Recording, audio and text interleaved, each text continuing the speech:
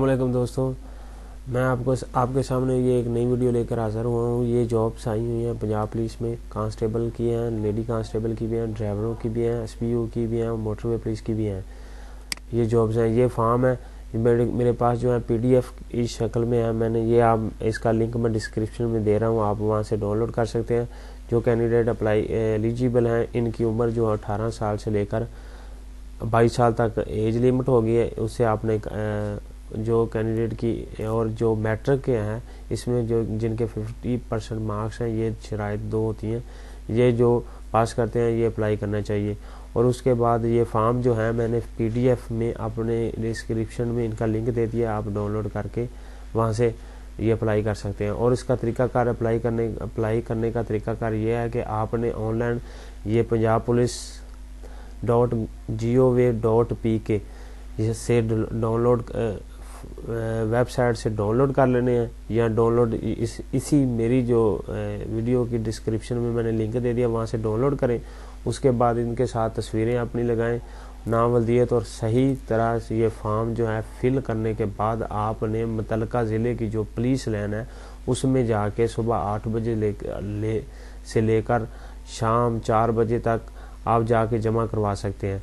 और ये आखिरी तरीक जो है तीन एक दो हज़ार इक्कीस है। आपने आखिरी तरीक का इंतज़ार नहीं करना, उससे पहले पहले आपने जमा करवा देने हैं ये फॉर्म अपने।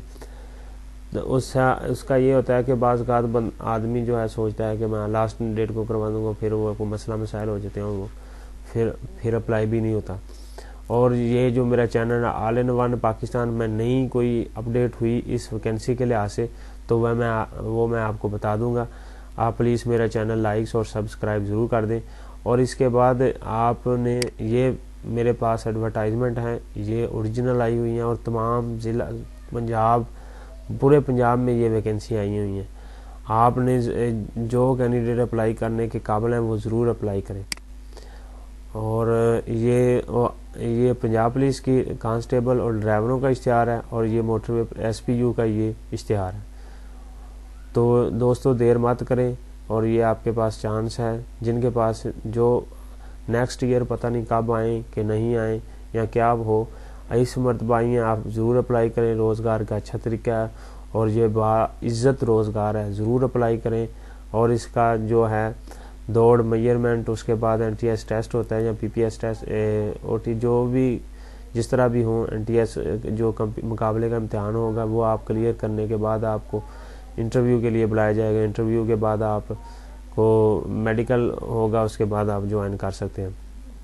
उसके बाद दूसरी ये बात, आप किसी को पैसे वगैरह ना दें, रिश्वत वगैरह ना दें, इस मरतबा ये जो कंपटीशन का एग्ज़ाम होता है, ये शाफाफ और क्लियर होता है इसमें। किसी को किसी के जाल में मत आए और अपनी काबिलियत शो करवा के आप अपना रोज़गार बनाएँ।